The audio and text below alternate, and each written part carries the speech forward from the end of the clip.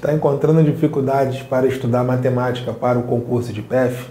Então esse vídeo é para você. Sejam bem-vindos a mais uma estreia aqui no nosso canal. Para quem não me conhece, sou o professor Marcão e junto com o professor Renato Oliveira, através do método MPP, ajudamos nossos alunos a transformar seus sonhos em realidade. E nesse vídeo de hoje está aqui, trago para vocês uma super dica de sólidos geométricos para o concurso de PEF. Repete aí na sua casa.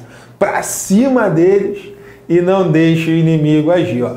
Juntos conseguiremos essa vaga. Eu tenho certeza disso. Antes de começarmos a nossa dica MPP, né, inscreva-se em nosso canal e ative as notificações, o famoso sininho. Por quê? Sempre que rolar a publicação, vai chegar o vídeo para você. Então, o mais importante disso tudo é você ativar as notificações, o famoso sininho. Legal? Sem mais delongas, vamos dar início à nossa dica e no final vamos trocar uma ideia sobre a nossa imersão de Madureira. Beleza? Então, pessoal, tá aí. Vamos lá, simbora. Tá aqui as minhas redes sociais, troco likes e sigo de volta. E agora, pessoal, bola rolando no Maracanã, caneta e papel na mão. E vamos lá. Para trabalhar a geometria plana com seus alunos, o professor Edmilson apresentou a eles a embalagem de chocolate representada na figura, formada por cinco faces planas sendo duas delas paralelas entre si. Após mostrar essa embalagem aos alunos, o professor planificou em uma cartolina. Vamos lá. Está aqui o final da questão. Simbora. Um dos objetivos do professor Edmilson era trabalhar o reconhecimento de formas geométricas em figuras planas e espaciais. Com base nesse objetivo, o professor pôde trabalhar o reconhecimento de, aí está lá as opções, pirâmide retângulo apenas, prisma retângulo e triângulo, triângulo prisma apenas, pirâmide prisma e triângulo. Então, pessoal, vamos lá, é um conceito né, é um conceito que você tem que dominar dos sólidos geométricos. O que, que seria um prisma?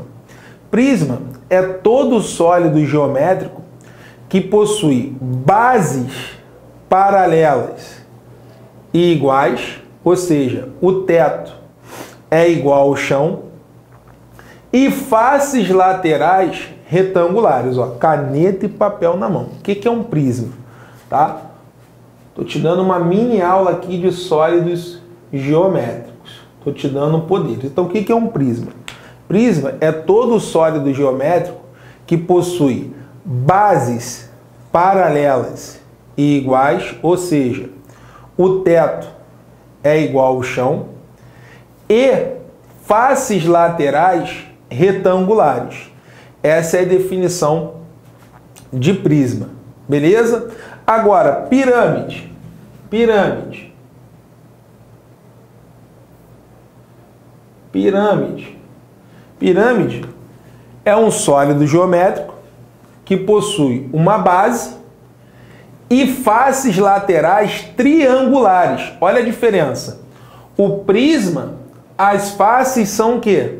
Retangulares, né? As faces laterais são retangulares, ou seja, as paredes numa linguagem nossa, as paredes. Elas são o quê? Retangulares. Retangulares. Já na pirâmide, as faces laterais, né, as paredes, elas seriam o quê? Triangulares. E o prisma, ele possui duas bases. E a pirâmide ela possui o quê? Uma base. Então, pessoal, são figuras espaciais diferentes. Vamos lá. Desenho do prisma. Vou desenhar aqui o prisma de base triangular. Beleza? Então tá aqui, ó, meu prisma de base triangular. E vou desenhar aqui uma pirâmide de base triangular, para você ver a diferença entre uma pirâmide e um prisma. Olha a diferença. Então, pessoal, numa linguagem nossa, né? Estou te dando uma mini aula de sólidos geométricos. Tá? O lado conceitual, né? Duas bases. Ó, duas bases paralelas e iguais, o teto e o chão. E as faces laterais, que seriam as paredes, elas são o quê? Retangulares. Já a pirâmide, ela possui uma base, ela possui uma base, e as faces, que são as paredes, elas são o quê? Triangulares. Você virou o senhor pause, você agora é o senhor pause. Dá o pause e responda. A caixa de chocolate, ela é um prisma ou ela é uma pirâmide? Com certeza você respondeu que a caixa de chocolate é o quê? É um prisma. Bases paralelas, né? E as faces laterais são o quê? Retangulares. Então o formato da caixa de chocolate é o quê? Um prisma. Não é isso? Sim ou não? Agora, se eu abrir a caixa, pessoal, se eu abrir a caixa, quais figuras geométricas que nós vamos encontrar? Ó, a base é um triângulo, não é isso? Se a base é um triângulo, teremos ali três faces laterais, ou seja, teremos três retângulos. Ó. Vou abrir essa caixa aqui, ó. vou planificar ela. Então teremos ali três retângulos. Três retângulos e dois triângulos, que seriam as bases. Então, pessoal, tá aí a forma planificada. Aí vamos olhar aqui as opções. É uma pirâmide? Não. É um prisma? Sim. Tem um retângulo? Sim. E tem um triângulo? Sim. Então o gabarito é a letra B de bola. Porque na planificação do prisma encontramos o que, pessoal? O retângulo e o triângulo. Então o gabarito é a letra B. Agora, pessoal, tirando essa teoria toda numa linguagem nossa, como é que você vai diferenciar uma pirâmide de um prisma. Muito fácil, né? Pirâmide. Fez biquinho? Hum, é a pirâmide, ó. Hum, fez biquinho, ó. Hum, é o quê? Pirâmide. Então, se tem bico, é o que, pessoal? Se tem bico. Se tem bico, é o que? Pirâmide. Não tem bico, é o que? O prisma. Então, pessoal, olhando a caixa de chocolate, né, confirmando aqui, ratificando, é um prisma de base triangular. Beleza? Gabarito, letra B de bola. Gostaram aí da explicação? Coloca aí no bate-papo se você gostou, se você curtiu. E agora, pessoal, peço a vocês alguns minutinhos né, da sua atenção. Vamos trocar uma ideia sobre a imersão MPP Madureira, de Madureira, isso aí. Você pediu, nós atendemos. É isso aí. Esgotaram-se né, as vagas de Campo Grande, graças a Deus, foi um sucesso. Né? Rapidamente as vagas né, se esgotaram e começou aquele clamor, né? Pô, Marcão Renato, Marcão Renato, Madureira, Madureira, então. Abrimos aí a imersão de Madureira, cara, e já tá acabando. Por isso que eu estou entrando aqui com as dicas. Essa aí é, uma, é a primeira dica de várias. E eu vou estar aqui alertando vocês. Qual é o dia da imersão MPP de Madureira? Pessoal, a imersão, caramba, gripado, pessoal, é o inimigo agindo aqui.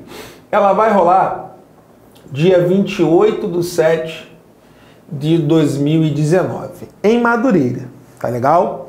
Vai rolar em Madureira. Nós alugamos ali a sala da Degrau Cultural. Não tem nada a ver com a Degrau, o evento é nosso. Então não adianta você ligar para a Degrau, não adianta, né? Ah, vou ligar lá para a Degrau, vou lá na Degrau pegar a minha inscrição. Cara, pelo amor de Deus, é só o local, nós alugamos uma sala, tá? Então vai ser lá na Degrau Cultural, perto do shopping, bem localizado, tá? E vai ser no dia 28 do 7 de 2019. E é muito simples, né? Você que está aí querendo participar, é muito simples. O que, que você vai fazer? Você vai mandar uma mensagem para esse número do WhatsApp. Tá aqui a mensagem. Quero participar da imersão MPP de Madureira. Simples assim. Você vai mandar uma mensagem para esse WhatsApp. Qual é a mensagem, Marcão? Quero garantir a minha vaga, Marcão. O que, que eu faço? Tá aqui, ó. Quero participar da imersão Madureira. Aí você vai e manda essa mensagem para esse número. Só uma coisinha, pessoal. Faltam 19 vagas. Né? Somente 19 vagas disponíveis para vocês. Então, vai acabar. vai acabar. Então, pessoal, não perca tempo. Se você gosta do nosso trabalho, se você realmente acredita, né? Cara, não perca tempo, porque vai esgotar e depois não tem como. Beleza? Foram 180 vagas, eu dei uma olhadinha ali, faltam exatamente 19 vagas. Então, não perca tempo, mande a mensagem, cara, e com certeza garanta aí a sua vaga, porque, pessoal, aprovamos, vamos lá, fatos agora. Aprovamos vários alunos no concurso de PAEI, aprovamos vários alunos no concurso de agente educador e a tendência é que nós também vamos aprovar bastante para o concurso de PEF. Então, pessoal, tá aí. Dia, qual é o dia? 28 do 7, domingão. Né? 50 questões, pessoal. Tá aqui, ó. Como é que vai funcionar essa imersão, Marcão? 50 questões de matemática. É isso aí, overdose de matemática. Né? Vamos mostrar que o impossível é possível. Exaustão. Só sairemos de lá na questão 50. Não tem ideia. Lágrimas vão rolar? Vão rolar, vão rolar de alegria, conhecimento. Né? Às vezes a gente pensa, tem dificuldade em matemática, não consigo. Pô, dificuldade é que ele está sem uma perna aí, né? Tá sofrendo aí, mas mesmo assim está lutando, porque ele criou ali um ciclo, né? De não ter aquilo ali como um vitimismo. Eu te garanto que a pessoa que está sem perna, às vezes tem uma motivação maior que a nossa. Então, pessoal, nunca desista dos seus sonhos, nunca desista de lutar. A persistência, ela vai te levar ao êxito, eu tenho certeza disso. E nesse dia vamos dar o nosso melhor. Com certeza vamos impactar de uma forma muito positiva na sua vida, não somente ali no estudo em si, né? mas em outras coisas. Motivação. Eu tenho certeza que você vai sair diferente no dia dessa imersão. Você vai começar a pensar diferente. Então, pessoal, vamos de mãos dadas rumo à sua aprovação. Qualquer dúvida está aqui, o telefone. Quando você mandar essa mensagem, você também pode tirar aí todas as suas dúvidas sobre valores, enfim. Legal? Então, pessoal, um forte abraço, fique com Deus e matemática é o quê? Para passar. Te espero lá na imersão. Valeu, pessoal. Um abraço.